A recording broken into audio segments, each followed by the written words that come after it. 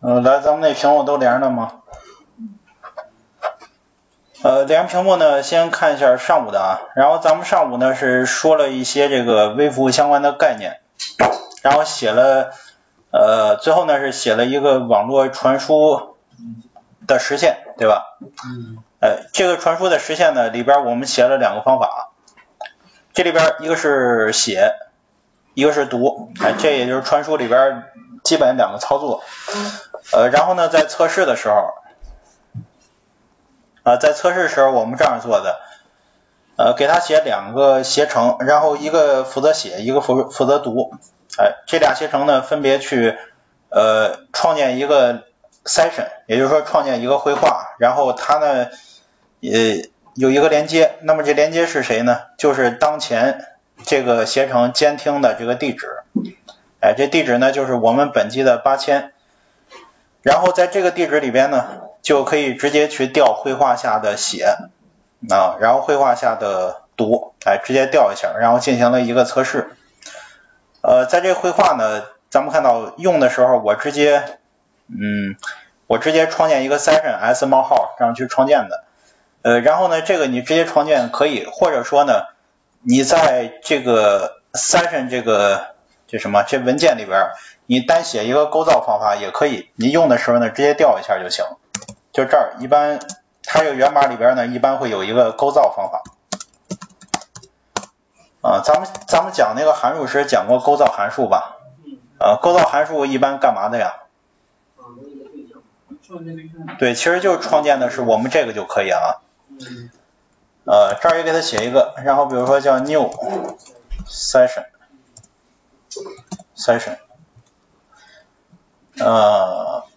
这里边要返回的是 session，它里边是需要连接的，这里边给它搁一个连接，然后呢，它返回的就是这个 session，直接一 return，呃，它的目的呢就是创建一个 session 就完事了，写这么一个就可以，哎，这个用的时候呢，直接调一下，把那 connection 传进去，它就给你返回一个 session 对象就行了。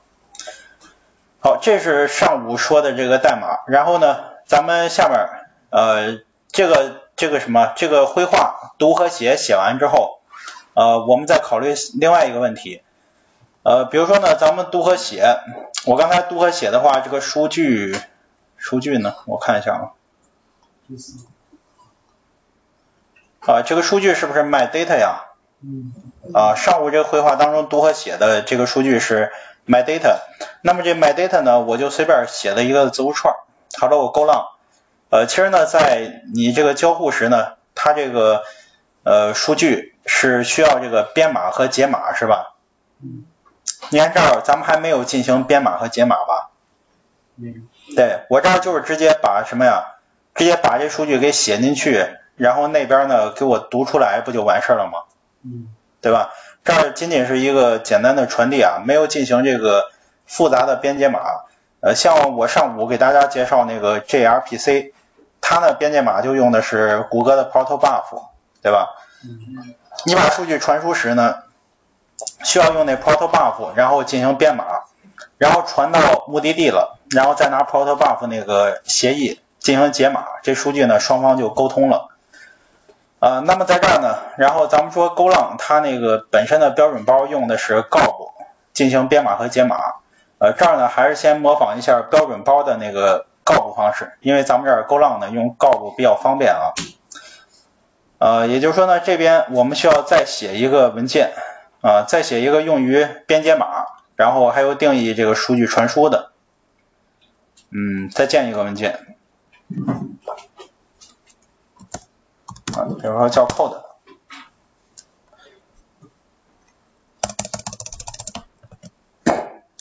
好，那么在这里边呢，我先这个需要定义，一个是编码，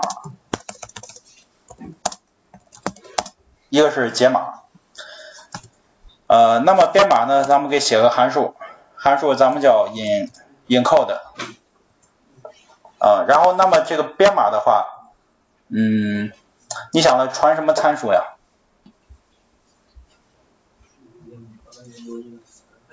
对，其实这个就你考虑咱们在基础时学过那个 JSON 编码和解码吧？嗯。你 JSON 编码的时候传什么呀？啊，你你编码的时候是不是应该传你想编的数据呀？嗯。然后它编好之后呢，是不是会给你返回一个二进制呀？对吧？就是一个应该是 byte 字节的东西。呃，这些方法呢，你再给个 arrow，哎，大概返回值呢可以返回一个这个编码好的数据和一个异常。那么它这个它这个参数呢，你就可以传那个。嗯，交互的数据，然后同样的那个那个解码也是一样的，解码的话就是返回的是这个，传入的是这个嘛，对吧？给它反一下。那么这里边我们可以先定一下，定一下这个 RPC 交互的数据格式，呃，它们之间呢以什么格式交互的，然后那么就把那个格式给我传进去就行啊。这块你这样写，定一个结构体。就是 RPC 的数据，哎，这个 RPC 数据里边有什么呢？我这儿先给你写一下啊，里边呢一般会有一个这个名字，还有一个是参数二个字这不一定有几个，还不一定是啥类型。那么这边它这个编码的话，就应该传的是 RPC data。呃，这儿咱们来想一下，这个你在 RPC 交互时，比如说咱们上午写那个客户端，你客户端访问服务端的时候，你传的是什么参数呀？第一个参数干嘛的？哎，就是这个意思啊。你看咱们客户端访问服务端时，你第一个参数干嘛的？对你是不是传的是你想访问什么东西啊？对吧？第二个参数是不是它携带的这个参数呀？对吧？其实我们定义的就是这两个。哎，所以说在这边呢，它在数据交互的时候，基本就传的是你想访问谁，呃，然后你那个参数是是什么，对吧？好，那么在这儿呢，把这个数据给传进去，传进去之后，在里边如果想进行这个编码的话。我们这儿是用 Go 进行编码，呃，GOB GOB 呢，它有一个 new，应该是第一个，哎，这这俩是一样吗？哦，不是，那 decoder 是吧？我应该 encoder 啊。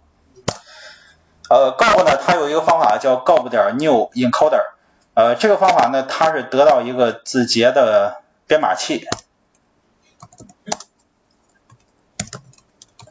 这是得到字节编码器，哎，因为我们现在呢想把数据进行这个编码解码，所以说呢我要编码的话，先得到一个编码器。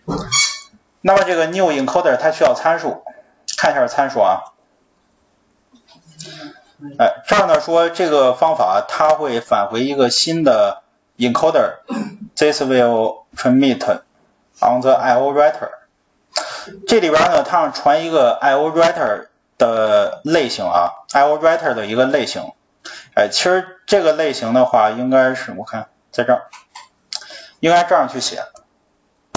嗯，定一个 buff，然后 by bytes 的 buffer。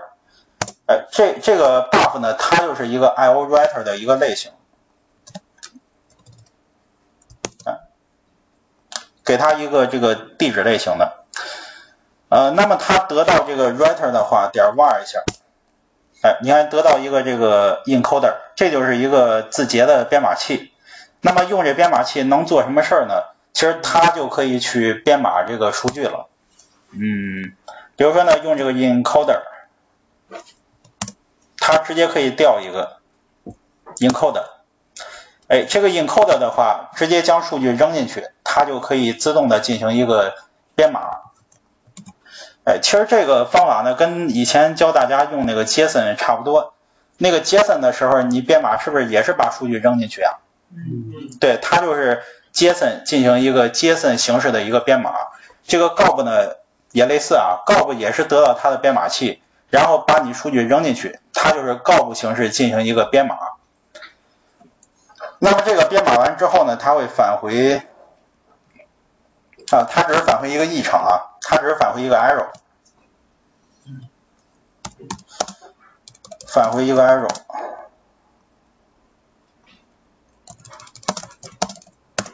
不等于 new。呃，如果有呃啊，如果不等于 new 啊，这个数据是没有的，然后把 error 返回。呃，如果说它这个编码没问题的话，它没有返回 error，那这个数据就有的，数据就是 buff 点儿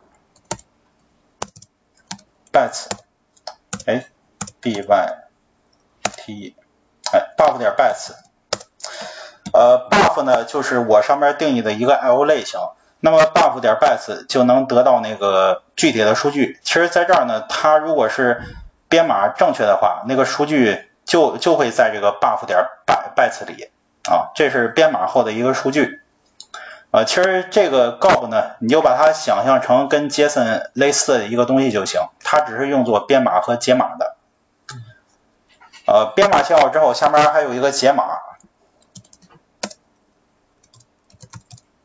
写一个 decode。呃，然后解码的话，我们刚才已经说了，就是把这个还有这个搁这儿给反过来就行。因为解码就跟它反向操作嘛，那你要解的话，肯定解的是 byte 类型的，对，然后解码呢，应该是给它解成这个类型，解成这个类型，再来个异常。呃，上面呢，我们编码是这样去定义的，然后解码的话，直接来一个 buff 啊，还是来一个 buff，嗯，bytes 点。New 一个，new 一个 buffer，嗯，把这个 b 扔进去，呃，上面是得到一个编码器啊，这块我想得到的是解码器，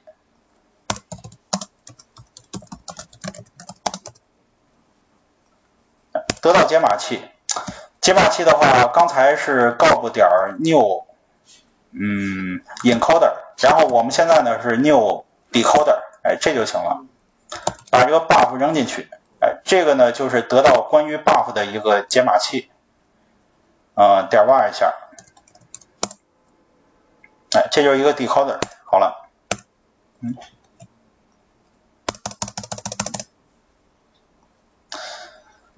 呃，那么拿到这个解码器之后呢，就可以用这个解码器，啊，写一下，对数据解码，用这个 decoder。去这个 decode，哎，这个 decode 呢是解码，呃，用它解码谁呢？其实就是解码上边这个数据嘛，是吧？解码这个 RPC data，哎，也就是，嗯，我看一下啊，这这块我应该搁外边定义一下啊，RPC data。哎，这个就行了。啊，我在这儿呢，想用解码器对于这个返回值类型，这个返回值类型我叫了一个 data，然后对于它呢进行一个解码，哎，然后解码完成之后，这儿同样呢也会返回一个异常，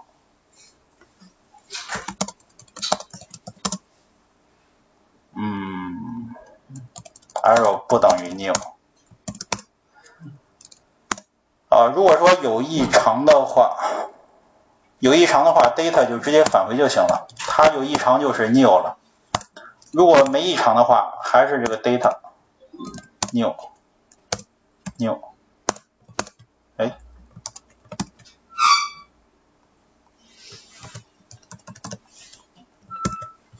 行，这样的话就可以了啊。呃，这块呢，咱们简单这个回顾一下。其实我们这儿只是做两个事儿，一个是编码，嗯，一个是解码。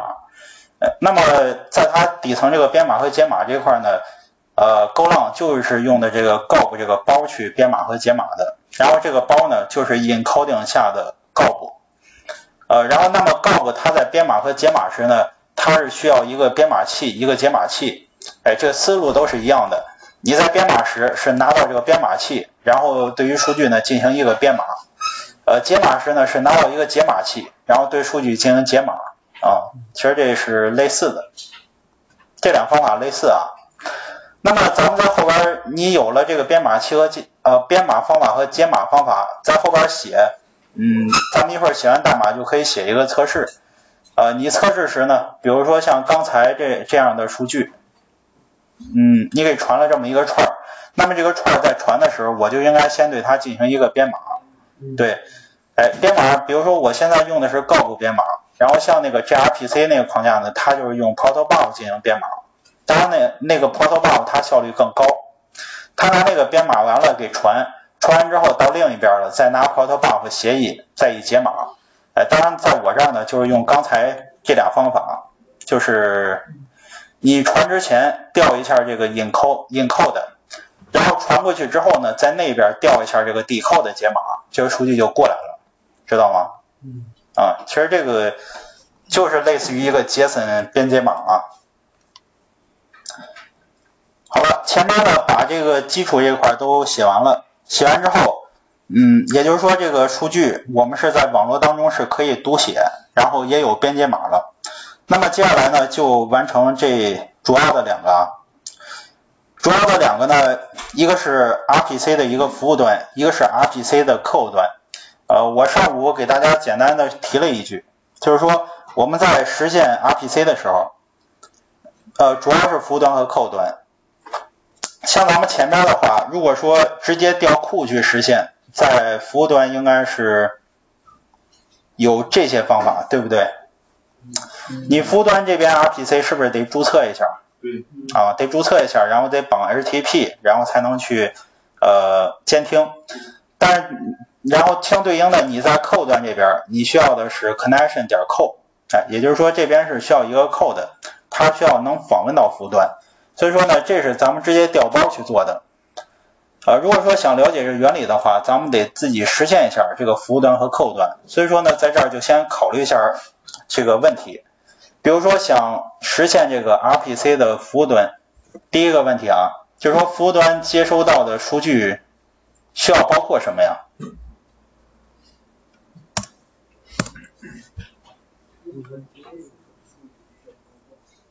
呃，这个因为我现在呢想写代码实现一个服务端，你服务端肯定是被人家访问的，那你被人家访问时，你接收到的数据可能会包含什么呀？嗯，对，请求的方法，对，请求方法还有需要的参数是吧？啊，像也就是调用的函数名，还有这个需要的参数，嗯，也就是这两个是吧？那么这是服务端它可能接收到的东西啊，那么咱们服务端。呃，我需我如果想实现一个服务端，大概需要解决什么问题呢？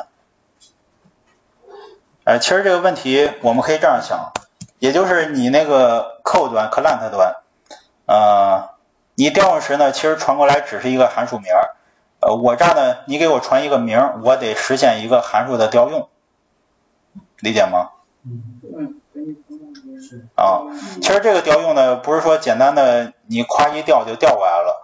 这这个因为已经是程序运行时了，就是说程序运行起来之后，然后你访问我，我这儿呢根据那个名字再去调一下，这个显然是一个什么操作呀？对，这是程序运行时根据函数名去调用函数，是一个反射的操作吧？嗯。对，这是客户端，嗯，传过来函函数名。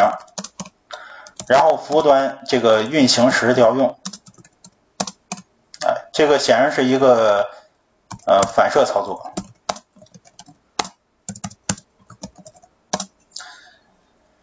呃，那么除了这个，大家知道这是反射操作，其实这个服务端呢还需要干一个事儿啊，就是说它需要维护一个函数，嗯，函数名到函数之间的一个映射啊，因为我知道这函数名得映射到哪个函数。呃，那么这个事儿呢，其实关于映射这种事儿，呃，一般呢用 map 就可以了啊。map 因为就是 kv 的，它就维护一个 map 就可以。呃，维护一个函数名，嗯，到函数之间的 map，哎，这是服务端它需要解决的一些问题。呃，那么再往下，呃，考虑完这些服务端它接收到的是什么东西，然后它呢解决什么问题？再下边服务端的核心功能有哪些？也就是说，我们写这个代码大概需要写哪些核心的东西啊？啊，思考一下。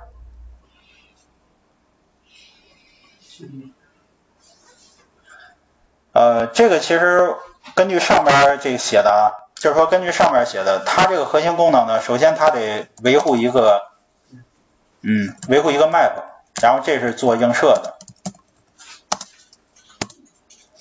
啊，然后呢，第二个，第二个就是说，客户端它传过来那些东西啊，我得这个解析，对，解析过来，解析过来呢，通过这个反射再去调用，解析这个呃客客户端这个什么呀？客户端参数，然后通过通过反射去调用执行，这是第二个。嗯，还有什么呀？咱们服务端除了你接收过客户端的客户端的这个参数，然后你处理完了，是不是还得返回啊？对，第三个是我得通过服务端啊给客户端返回结果啊。好，你看服务端是不是大概就这么几个事儿啊？啊，咱们暂且先定义这么几个事儿啊。呃，这块呢，其实之前给那个，因因为那个五班呢是最后讲这个微服务的，然后给他们班讲呢也是，嗯，没没写出来之前这个有点懵，然后这个没关系啊。呃，其实大多数人都是一样的，然后因为之前可能没太自己手写过，是吧？啊，没事儿，这个一会儿呢，我边写，然后边一步步的说，咱们写完呢再翻回头整体的说一下，这个应该是可以的啊。呃，那么这一块儿，咱们先实现这个什么 RPC 的服务端，嗯，还是搁一块儿写了啊，搁这儿来写，我这儿就叫一个 server。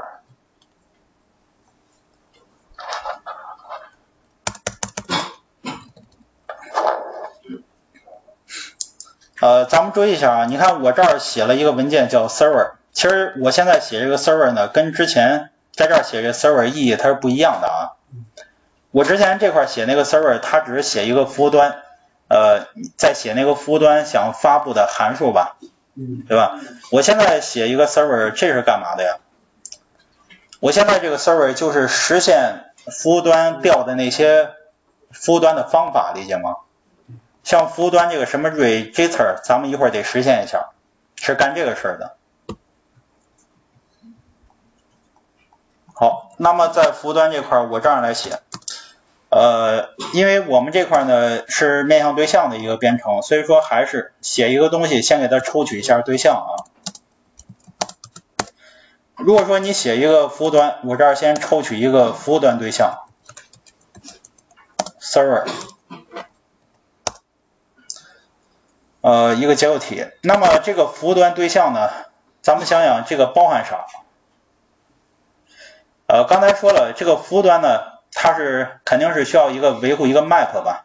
嗯。对，所以说这里边呢，肯定是需要维护服务端，嗯，函数名到函数值的映射的 map，哎，这是必须的。呃，其实还有一个，还有一个是地址。这是服务端它应该有的，因为服务端呢，你本身就是要监听的，你监听的是哪儿呢？也就是说，监听的是某一个地址啊，这个地址也必须加上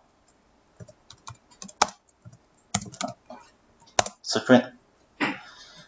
呃，一个是地址，还有一个是这个 map。这个 map 里边呢，实际上它维护的都是都是函数啊，也就是服务端所有的函数在这里边去维护 functions。一个 map，哎，咱们想一下这 map 格式我怎么定义啊？K 肯定是 string，嗯对，肯肯定 k 是一个 string，因为它就是那个函数名儿。啊，它这值呢应该是这样写啊。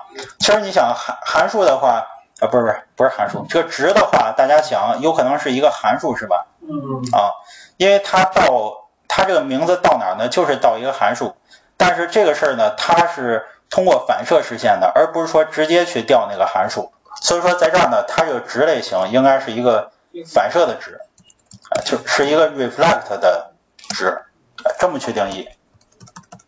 啊，这这个是它源码也是这样去搞的啊。呃，也就是说呢，它通过这个函数名去调用，哎，调用的实际上是一个本质上是一个反射值。那么这个反射值呢，最终它可以找到要调的那个函数，啊，是这样去调的。哎，这是第一个是我们的一个定义。呃，然后跟那个 session 一样，你这儿也可以先写一个构造函数啊，构造函数，然后后边那个测试测试方法去用的。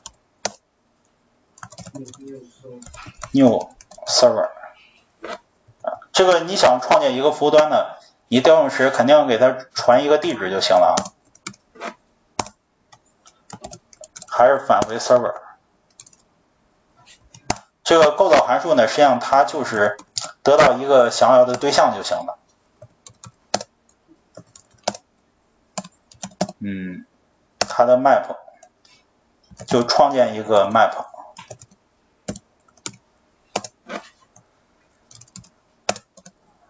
点 value 啊，这块先弄一个构造函数，哎，这不是重点，咱们重点呢是讲就是实现它那个注册的方法，嗯，还有后边那个服务端运行。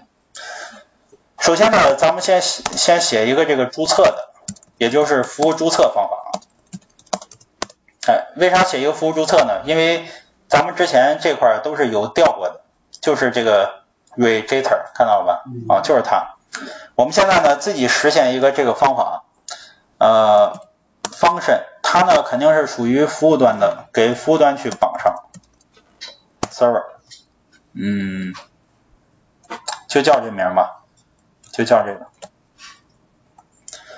啊，我们呢也叫一个 register，然后大家想这个方法，嗯，需要传什么参数呀？看一下人家这个啊，人家这个传个什么呀？啊，传的是那个对象是吧？其实它这这块为何传对象呢？因为它在对象里是不是有方法呀？对吧？它本质上呢，其实应该传的是那个方法就行。哎，在这块儿我们就，因为它这如果传对象进去之后，它得先解析对象，解析完对象呢，还是那个方法名和这个函数。咱们这儿就省略一步啊，不传对象了，直接传那个方法名就行了。哎，它这儿就多了一步，多了一步解析。我这儿呢，直接传那个 RPC 那个方法名。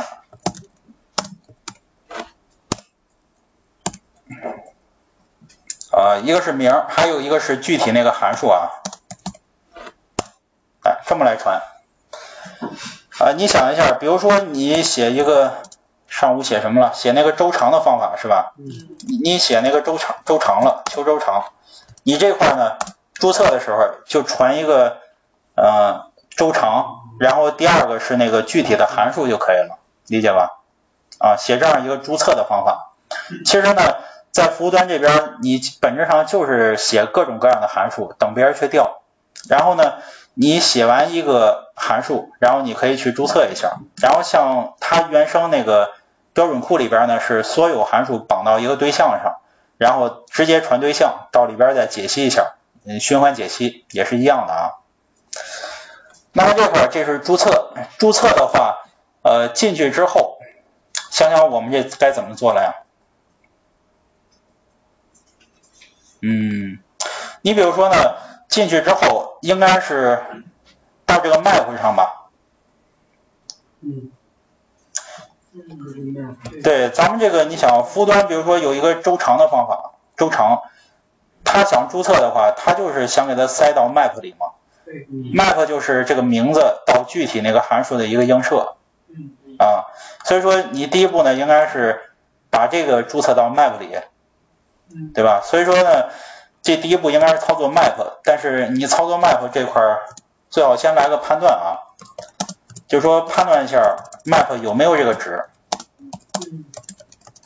有没有此值啊，或者说此键吧。嗯，服务端的 map 是 s 点 function，哎，先看一下这个 map 里边有没有这个这个方法名，对吧？啊，我们这个从 map 里取数据判断，这么判断。好，呃，如果说这个是 OK 的情况下是怎么回事？有。呃，是有是吧？有的话就不用注册了啊，直接给它返回就行了。哎，这是第一个，有了这个方法了，你就别注册了，然后接着写。如果说没有的话，这时可以给注册一下吧。对，这时给它 s 点 function 注册一下。s 点 function，首先呢，这个 map 我们给加一个键，这个键就是这个 name 啊，然后它的值呢？哎，它的值我们发现是一个反射的值类型，是吧？反射的值类型呢，其实我们可以这样取啊，就是通过反射，嗯，对，它有一个 value of，哎，value of 谁呢？就是这个 f 啊。你这样一写的话，它自动的可以，嗯，根据根据你传的那个 f 去取到那个类型，呃，或者说取到那个值。对吧？哎，然后这个 map 就给它添加进去了。这个其实就是一个注册，哎，就是这么三行代码，简单吧？啊，其实这里边你说服务注册呢，如果说你用一个 map 去维护这个映射关系的话，它就是这么嗯几行代码，然后它的名字呢就是函数名啊，这个值呢就是函数对应的自己自己那个值，对，反射的值就行了。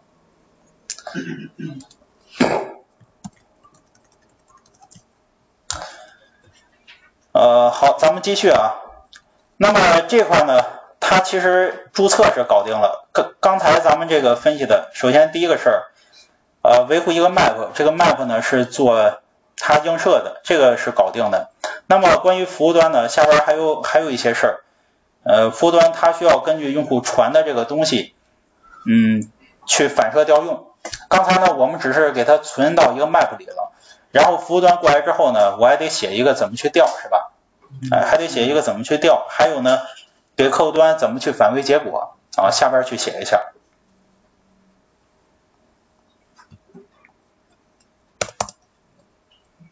这边再写一个这个服务端，嗯，服务端实现的具体逻辑吧，具体逻辑。，function，呃，还是这个服务端的方法，给它绑上。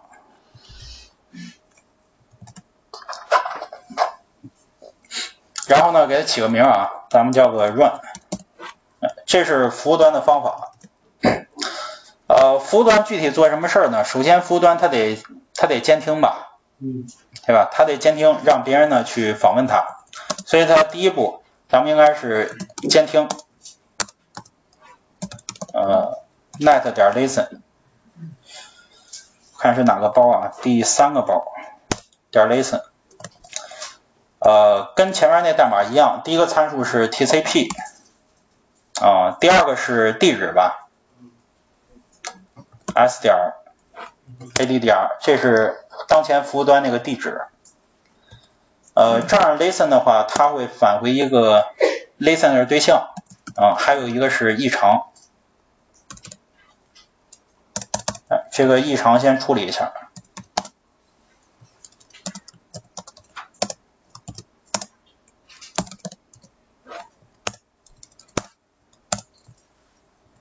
好，这是处理一下异常。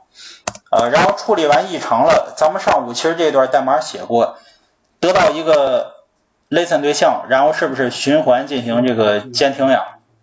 对，这块上午写过，所以是循环监听。for 一下，呃，在这里边呢，循环监听的时候用 listen 去 accept，这是不是都是上午的呀？那么每一次呢，进来一个人去连我服务端的时候，得到一个具体的连接异常，对，然后异常再处理一下。嗯，异常处理。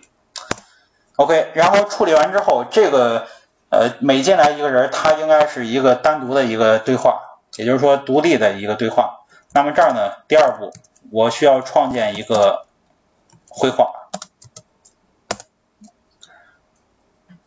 嗯，这个创建绘画的话，直接调一下前面那个构造函数啊，new session，把那个连接扔进去。呃，这个 new session 呢是我们在 session 里边写的一个构造，然后拿这构造呢会得到一个 session 的对象啊，玩一下，哎，这就得到一个 session 的对象。那么这边其实是一个服务端的一个 session，哎，拿到这么一个对象。那么拿到这对象可以做啥事儿呢？是不是可以呃可以读可以写呀？嗯。对吧？其实，在这一步的话，就相当于服务端现在呃给你，比如说发一个他想调的函数，然后传了一些参数，然后到我这一步的话，我建立好连接了，其实我是可以得到或者说读取客户端给我传的东西的。嗯。也就是说呢，第三步啊。是使用 RPC 的方式读取这个客户端数据。哎，这个具体读取呢，就是说用我这个拿到的 session 去去 read 一下。这个 read 和 write 是咱们前面实现的 RPC 的一个读和写，是吧？然后我现在其实客户端，你想了，刚进来的时候肯定是客户端在访问我，对吧？这这个 for 循环是不是不断的监听客户端访问呀？嗯。啊，你上边只是服务端的监听，然后这边呢，每进来一个一个客户端就是单独的一个绘画。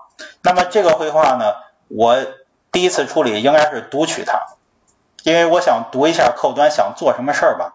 嗯嗯。啊，这是读客户端，所以是 read 一下。呃，返回值呢是一个数据和一个 arrow 啊。返回值是一个 bytes 和一个 arrow，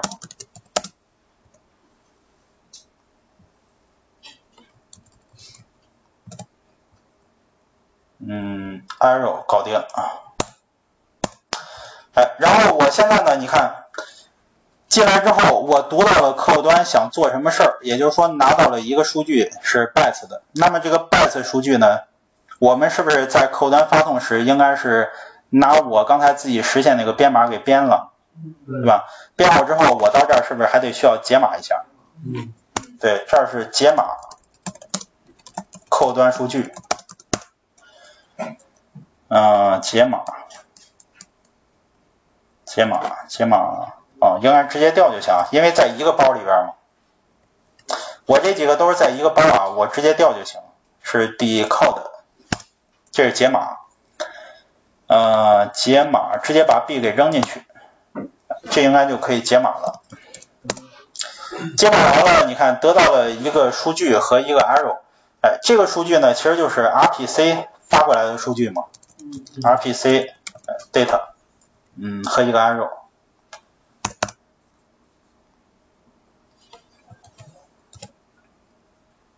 好，那么到这一步的话，我目前是可以得到。嗯，客户端想做什么事儿了吧？嗯，因为我接到客户端的数据了，然后呢，也给他把数据解码了，那么就是说解码成我们可以识别的东西了。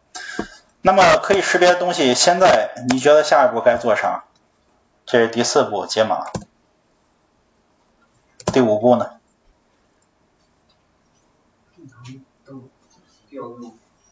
对，没没问题啊。你看我上边是知道客户端想干嘛了，是不是？知道他干嘛了，我就去干就行了呀。嗯。啊，其实他想干的无非就是调我的方法，我现在呢就可以去呃根据根据这个读取的数据，哎，然后具体来说呢，我读取到的是这样一个数据。那么这个数据里呢，你看我刚才怎么定义的啊？这个数据里是不是有一个 name 呀？嗯。对，我就可以根据客户端传过来这个 name。就知道我要调的是什么函数，哎，然后再根据它的 args 知道怎么调那个函数，对，哎，所以说根据读取的数据的 name，呃，调用具体方法，哎，这就行了。呃，那么怎么根据它这个 name 去读呀？然后因为服务端现在维护了一个 map，只要说我服务端有的方法，一定在 map 里，所以说我在 map 里可以直接取一下。S 点 functions，这是服务端那个 map，然后从这个 map 里呢去取那个键，嗯，对对对，rpc data 点 name，哎，这就是从 map 里取了一个键，呃，取过来之后呢，一个是一个是 k，一个是 value，哎，不是，呃，不是不是，那是循环便利，哎，map 循环便利时是 k 和 value，你要直接取的话，map 给你返回啥？对，一个值一个 OK 吧，对吧？一个值值应该是那个函数，还有一个是 OK，没问题吧？对，这是根据它那个客户端传过来的数据给解析，解析完搁 map 里边取一下，哎，取过来之后呢，我们得到一个具体函数和一个 OK。那么如果这个 OK 的情况下是怎么回事？哎，如果 OK 是里边有这个函数是吧？哎，那我这儿处理一下不 OK。如果不 OK 里边是没有的，那我这这儿打印个异常吧，打印个这个函数不存在啊，不存在，然后给它返回一下，OK 吧？啊，那么这个这这个异常给它搞定之后，下面就是没问题的，没问题的情况下，是不是该该该调用了呀？对，来下一步第六步，第六步，啊，第六步具体的调用函数。那么这块呢，你调用函数，你你还得解析什么呀？解析它那个 args 是吧？嗯，解析这个 args，args，啊，想一下这个事儿怎么做啊？args。呃，首先呢，你看啊，这块儿它这个客户端传过来的函数名我们其实已经有了，然后它那个参数呢，目前是不是不一定几个呀？嗯，对吧？所以说我得先一个一个的给它拿到，是不是？哎，它这个它它这块你看，它传过来这 args 不一定几个吧？也不一定是啥东西，所以说呢，怎么搞呢？你给它都拿一块儿去，呃，你可以给它放到哪儿呢？放到一个一个切片里可不可以啊？呃，你给我传过来，比如说三个参数，这三个参数呢，我给你放一个切片里。你给我传过五个，我这五个呢放一个切片里，然后再拿那个切片去操作就行了。啊，呃，因为呢，它具体的啊，你用反射调函数，它是这么调的。我不知道大家这个忘光没有？这个反射调用函数。呃，反射调函数，你比如说你想调的是这个函数啊，这个这个 map 里取的是不是一个函数呀？对吧？而且是一个反函数类型。那么你想调这个函数，反射应该是这么去调的，记得吗？啊，我相信大家应该已经忘了啊。呃，这个是在咱们基础阶段讲反射时说过，就是说你通过反射去调用一个函数的话，就是用那个函数点 call 是调用的。啊，咱们再翻回头看一眼吧。啊，不是，因为我得给你说它那里边传什么东西的。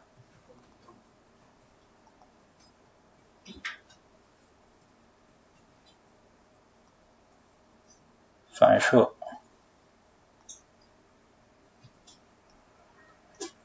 呃，反射调函数应该是最后一个。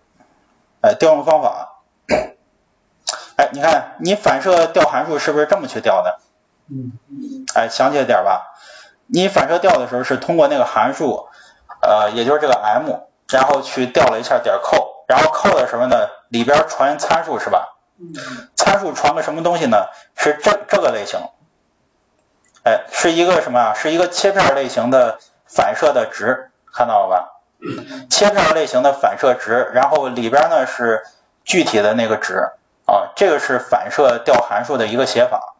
所以呢，在我们这块儿也是想通过反射去调函数。那么你在里边的你在里边传的时候，呃，你传那叉，比如说传个叉叉叉，这叉叉呢一定是一个什么呀？一定是一个切片类型的反射的这个 value 类型啊，这这个是反射它调函数就这么写的，理解吧？嗯好，所以说我们在调这个东西之前呀，必须给我弄出这么一个玩意儿，哎，也就是说你调靠之前必须给我出一个切片类型的 reflect 点 value，哎，并且呢，这个 reflect 点 value 里边是我调函数需要的所有的参数，这么说理解了吗？啊，啊，这儿写一下，啊，调用之前。需要这个构造这样一个类型，然后类型里边是调用函数需要的哎参数。好，这个应该是讲清楚了，是吧？嗯。啊，然后呢，我就在这儿声明一下，它里面呢，比如说呃，myargs，我去建一个切片。然后这个切片呢，一会儿就是存存参数的，是这个类型，这个类型，嗯，先给个长度，然后给个容量啊，容量，容量呢就是你现在传过来的所有的参数的一个长度，哎，这就行了，啊，然后具体这里边搁什么参数呢？给它循环一下，for range。range 这个东西，因为这里边呢不一定有几个，我得循环一下。然后循环过来之后，一个是对一个 index，一个是值 arg，arg，呃，我的 my myargs 这个切片呢，去 append 一下，你每一次这个编译出来的那个东西给我 append 进去，嗯。还是这个反射 value of arg，因为这是反射操作啊，都得用反射给包一下。哎，这样的话，我我才得到一个呃调用函数之前需要的一个参数类型。那么拿到这个参数类型的话，你才可以拿这个参数去 call 去调用这个函数，理解吗？啊，这个是调用函数啊。好。那么再看一下这个 call，它会返回个什么东西？你看这个反射调用，最终呢，它会返回一个切片类型的 value。哎，为什么返回一个切片类型呀？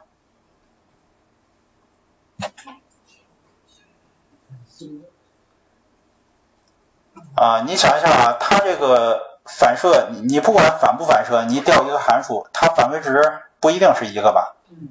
啊，你像咱们返回值。有一个 response，有一个 error，这明显就俩啊，也有可能就一个，这都有可能。所以说返回一个切片类型啊，点 var 一下，哎，它它就返回一个结果，反射调用函数，然后这个返回一个切片类型的 value。